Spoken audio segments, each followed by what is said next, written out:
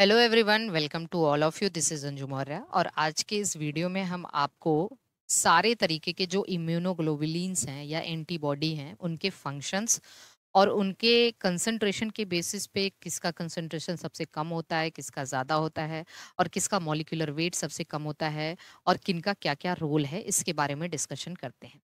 देखिए, सबसे पहली चीज़ है कि जो इम्यूनोग्लोबुलिन है ये ग्लाइकोप्रोटीन होते हैं एंटीबॉडी के बारे में हम लोग जानते हैं। जिसमें दो लाइट चेन और दो हैवी चेन होते हैं। किसी वीडियो में हम इसका स्ट्रक्चर भी आपसे शेयर करेंगे। आज हम आपको इसका फ़ंक्शन डिस्क्राइब करने जा रहे हैं कि कितने तरीके के होते हैं। तो हमें पता है कि इम्यूनोग्लोबुलिन पाँच तरीके का होता है। आई जी जी आई जी ए आई जी एम आई जी ई और आई जी डी पाँच तरीके के इम्यूनोग्लोबुलिन के बारे में हम बात करें देखिए, सबसे ज़्यादा आई जी जी होता है और इसका फ़ंक्शन है, इसका कंसंट्रेशन मैक्सिमम होता है इसका फ़ंक्शन कैन मतलब सेकेंडरी रेस्पॉन्स में होता है। सेकेंडरी रेस्पॉन्स क्या होता है?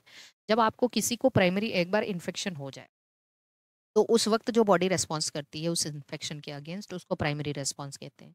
लेकिन अगर वही सेम माइक्रो ऑर्गेनिज्म दूसरी बार हमारी बॉडी में इनकाउंटर करता है या एंटर करता है तो उस वक्त जो है, उस वक्त क्या होता है? कि जो हमारे बॉडी का रेस्पॉन्स होता है, उसको हम सेकेंडरी रेस्पॉन्स कहते हैं। सेकेंडरी रेस्पॉन्स में आईजीजी का रोल है। ये एक ऐसा एंटीबॉडी है जो प्लासेंटा को क्रॉस करके फीटस में जाता है। तो एक तरीके से ये नेचुरल पैसिव इम्यूनिटी प्रोवाइड करता है। इसका क्रोनिक रेस्पॉन्स मतलब बहुत दिन से अगर कोई बीमारी है तो उसमें ये आईजीजी फाइट करता है ठीक है?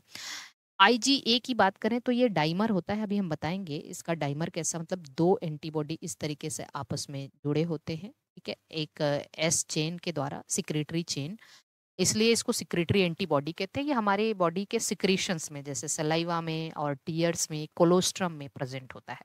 तो देखिए कोलोस्ट्रम जो मदर का इनिशियल मिल्क होता है, उसको कोलेस्ट्रम कहते हैं और कोलेस्ट्रम में ये प्रेजेंट होता है।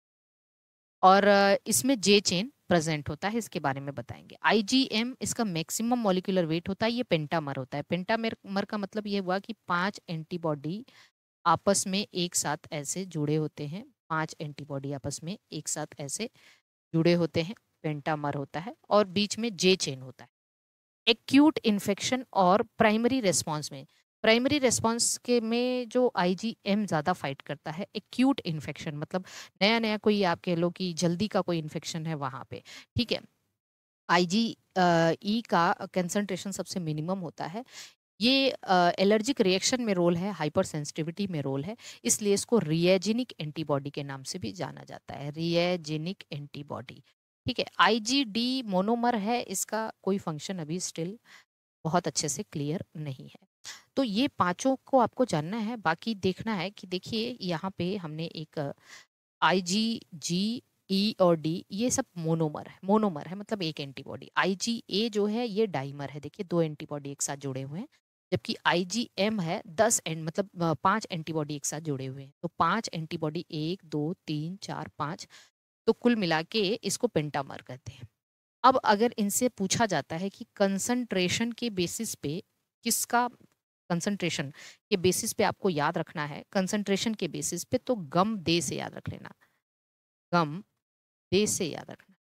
गम दे मतलब आईजीजी का कंसंट्रेशन सबसे ज़्यादा ए फिर एम फिर डी और सबसे कम कंसंट्रेशन ई तो ये कंसंट्रेशन एंड हाफ़ लाइफ के बेसिस पे है। हाफ़ लाइफ किसकी सबसे ज़्यादा है? जी की, फिर ए की, फिर एम की, फिर डी की, फिर ई की। कंसंट्रेशन भी जी का, फिर ए का, फिर एम का, फिर डी का, फिर और मॉलिक्यूलर वेट के बेसिस पे मॉलिकुलर वेट के बेसिस पे अगर हम लोग देखें तो माई डी से याद रख लेना। माई ठीक है डी मतलब एम फिर ए फिर ई फिर डी फिर जी मतलब एम और ए क्योंकि एम जो है पेंटामर है ए डाइमर है और ये तीनों मोनोमर है।